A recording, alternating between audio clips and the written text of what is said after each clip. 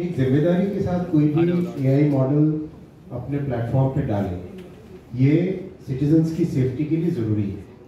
नागरिकों की सेफ्टी के लिए ज़रूरी है डेमोक्रेटिक प्रोसेस की सेफ्टी के लिए ज़रूरी है। इसीलिए इस तरह की एडवाइजरी इशू की गई है कि कहीं पर भी कोई भी मॉडल है उसको प्रॉपरली टेस्ट करें। टेस्ट करने के बाद में डालें। ये एप्लीकेबल होता है सोशल मीडिया प्लेटफॉर्म्स पे जो मॉडल्स डाले जा रहे हैं। इसकी एप्लीकेबिलिटी मान लो कोई हेल्थ केयर के लिए अपना एआई का काम चल रहा है, उसके ऊपर नहीं।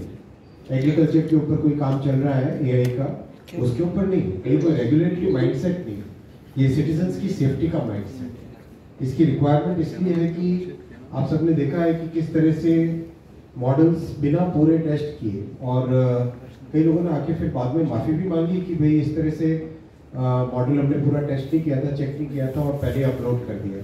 ऐसा नहीं होना चाहिए। सोसाइटी में एक बड़ी आज आ, रीच है सोशल मीडिया प्लेटफॉर्म्स की।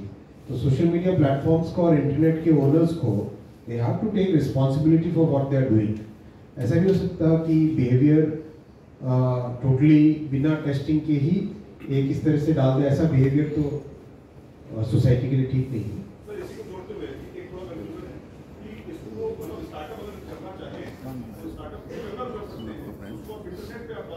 सोशल मीडिया प्लेटफॉर्म्स की बात है मेजर और ऐसा कोई रेगुलेटरी फ्रेमवर्क नहीं है ये। एडवाइजरी है कि आप अपने सारे के सारे मॉडल्स को प्रॉपरली टेस्ट करें। टेस्ट करके ही डालें ये ज़रूरी।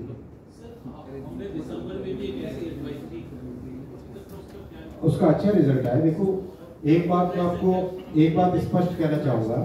एक बात स्पष्ट कहना चाहूँगा कि हमारे सारे के सारे प्रोसेसेस में एक एक्सटेंसिव कंसल्टेशन होता है।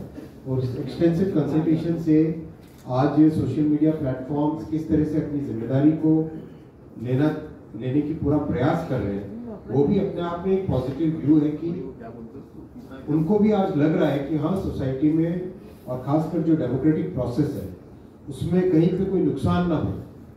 इस चीज़ का वो भी, they are also taking cognizance of this and they are also taking many steps which are uh, basically uh, aimed at preventing any disinformation and preventing any misuse of AI and uh, uh, deepfake kind of phenomenon. They are, they are also trying to make a big